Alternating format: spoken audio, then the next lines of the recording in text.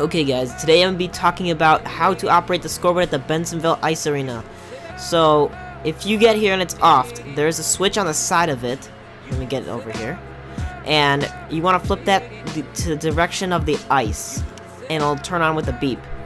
And usually scoreboard controllers don't ask this question, but it's going to ask if to press any button because it's a demo unit. But it's it still works as a regular scoreboard.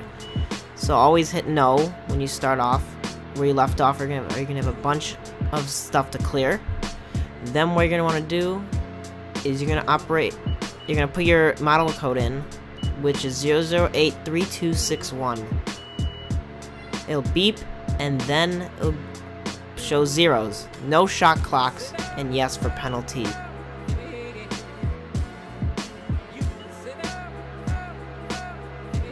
First, what you're going to want to do for setting the time is set time, then the number you would like. So, for 3 minutes, for example, 3 colon 0, 0. But for this, we're going to do 10 minutes, so that's 10 colon 0, 0.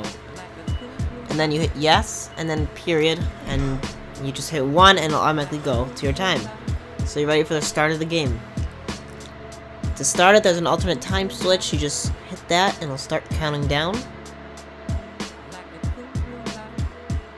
And then flip it the other way to stop the time. Now, we're going to set the scores, so if, this is the easiest way. So, the home team score is just home one time. That just means you're adding one, and don't worry about the entry error. And guest score, same thing, plus one. Now, if you did make a mistake, you would have to do set home score back to zero, yes. See, it'll keep adding. But just say you made a mistake. I'll show you right here. Don't worry about the error thing. It always does this. Alright, so when the time started, and we're going to do penalties in a second here. Let's stop the time. Let's do set. Home penalty or guest penalty the number minutes you want. So 2 minutes is 2 colon 0 0. Then yes, and your player number, so 12. It'll go automatically up there, and once you...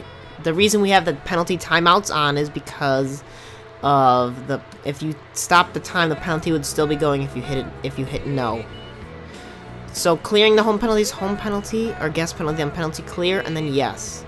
And it'll automatically clear it. So as you can see, it's gone. So fixing the mistake would be home, or set home score 1 and yes. That puts it back to 1. Before it was at 2. Um...